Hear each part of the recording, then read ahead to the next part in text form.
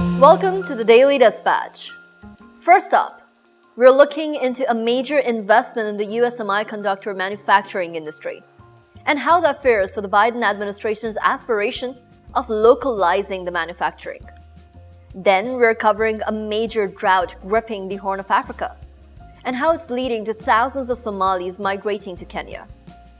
And finally, we're spotlighting the UN's call to action for helping the stranded Rohingya community, an ethnic minority from Myanmar that continues to face persecution. We're here to give you news and to help you infer the world around you. I'm Tayyaba Nisar Khan, and here is your Daily Dispatch. To kick off the dispatch, let's take you to the world of technology, where a Taiwanese semiconductor manufacturing company, the TSMC, will more than triple its investment in the US, from US $12 billion to $40 billion. The TSMC is the world's largest chip maker and is establishing a production hub in Phoenix, Arizona. In its initial stage, the production hub will make semiconductors, also referred to as the brains of electronics, for the Apple iPhones. Later on, the production hub aims to work on more advanced technologies, like future smartphones, artificial intelligence technologies, as well as car companies. This makes it one of the biggest foreign investments in the US manufacturing industry in recent history. And it comes at a time when the Biden administration is pushing to expand the production of key components in everything, from phones to military aircrafts, locally to mitigate the supply chain disruptions that have been magnified post COVID. In August 2022, the US President Joe Biden signed a law, CHIPS and Science Act, committing $280 billion to tech and scientific research to increase the US production of semiconductors, which stands at 10% of the global supply for now. In comparison, East Asia supplies 75% of the world's semiconductor chips. The US is hoping that investments like the production hub being set up by the TSMC will bridge this gap in the coming years. This investment is also being seen in the context of the larger geopolitical tensions between the United States and China over many issues like Taiwan, the South China Sea, and most importantly, over the US's fear of dependence on the other countries, including China, for the key components like semiconductors that will be the backbone of industries of the future. Some experts say this chip investment will open up a new front between US China relations, which have been marked by great powers' strategic and economic contestation. For our next dispatch, we're going to take you to Africa, where thousands of Somalis are fleeing their homes in search of food and water in the neighboring state of Kenya. Drought, conflict, and the rising cost of living in the Horn of Africa are creating unprecedented food insecurity, with the looming famine forcing thousands of people to leave their homes and migrate. Due to four failed rainy seasons, some African nations like Ethiopia, Kenya, and Somalia are suffering the worst drought ever in 40 years. According to the UN's Office of Coordination for Humanitarian Affairs, more than 36 million people are affected, including 7.8 million in Somalia. Now, experts attribute such extreme weather events to climate change. And to make matters worse, this drought has come at the same time as a global hike in the fuel and food prices.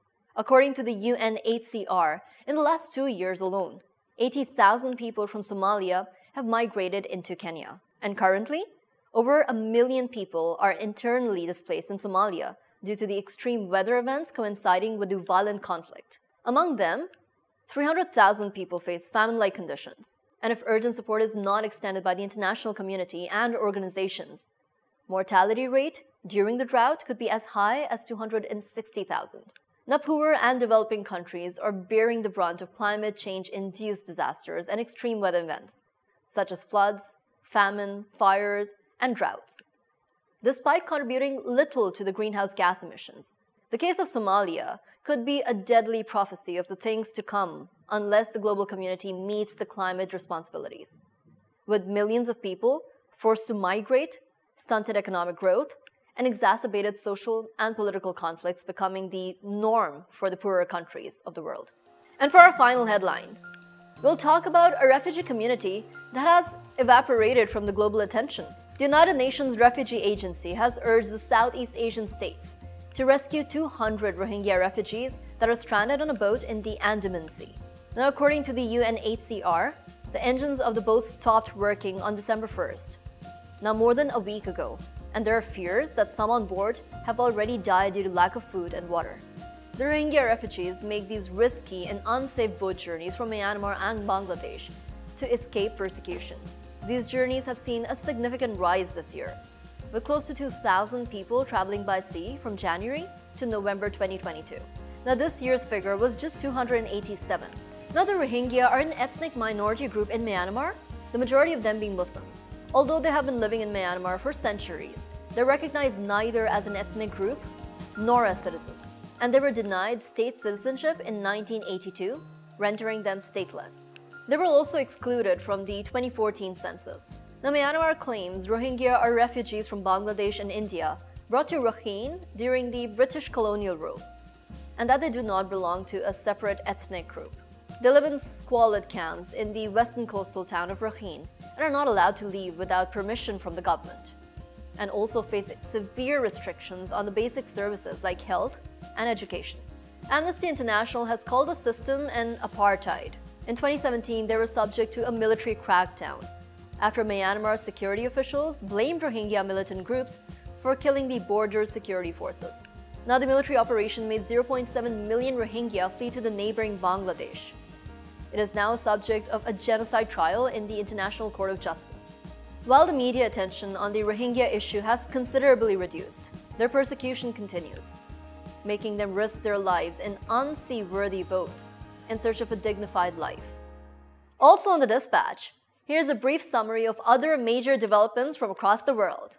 In a first since 1970s, the New York Times is facing a major work stoppage, with almost 1,100 staff walking out on a strike of 24 hours, as they demand better wages and remote work.